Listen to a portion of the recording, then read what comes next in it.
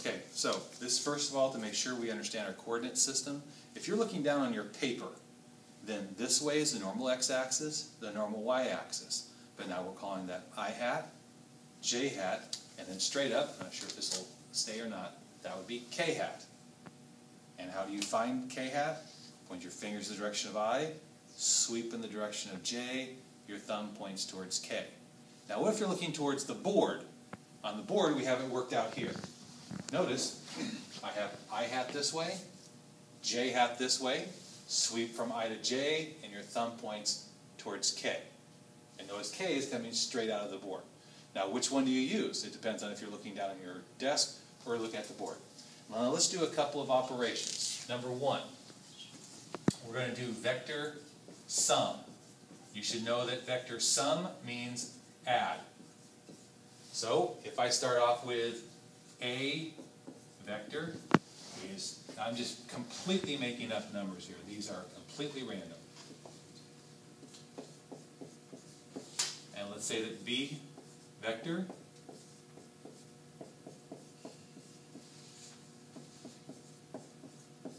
okay, and that is x, y, z.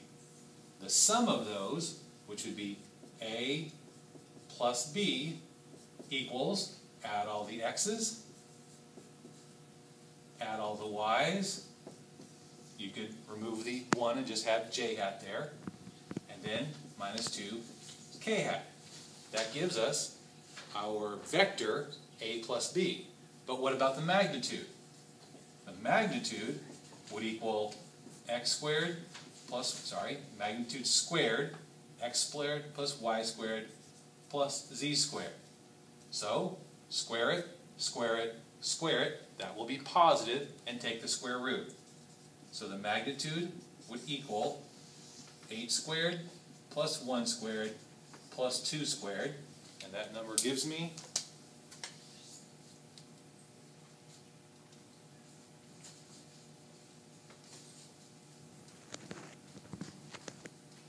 Five point five. Now, what about units? If these were all meters, then that would have the units of meters. If they have different units, you couldn't add them together. All right, that's how you do a vector sum. Next, let's do a, a dot product, otherwise known as a scalar product.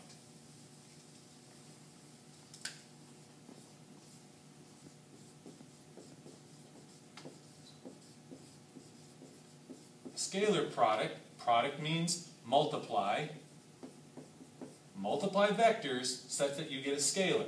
This would be like work. Work is a scalar, and work is only parallel components. We have an item being pulled by a force at a particular angle. This would be f cosine theta. This would be the distance it moves. And so the work would equal f d cosine of theta, where I've multiplied the parallel components. Let's do that in IJK now. so, this is another meaning of dot product. Dot product is a scalar product. Multiplication, which results in a scalar. Let me just choose, again, two random numbers. And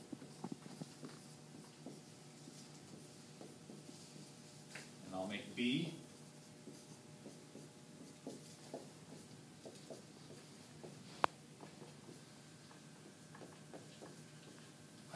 multiply those together as a dot product, written this way. I'm only going to multiply the parallel components. I'm not going to multiply i times j. Notice, i and j are perpendicular to one another. They are not parallel in any way. So I dot j equals 0. I dot k is also equal to 0. So I will multiply the i's together.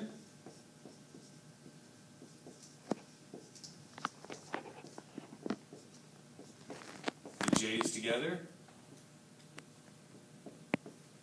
Plus the k's together.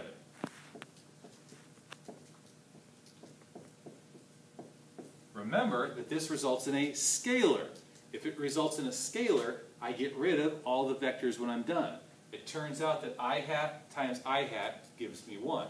j hat dot j hat gives me 1, etc. Because they're unit vectors, same direction, and as a unit vector they have a magnitude of 1. This gives me 4 times negative 2, negative 8, negative 6, negative 24.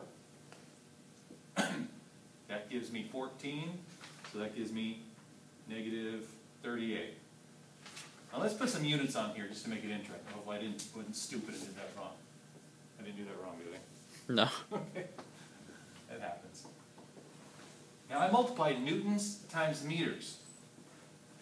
I multiplied newtons parallel to meters, which means that this is negative 38 joules. Now, you might say, what in the world is negative 38 joules? Negative because it's removing energy from the system.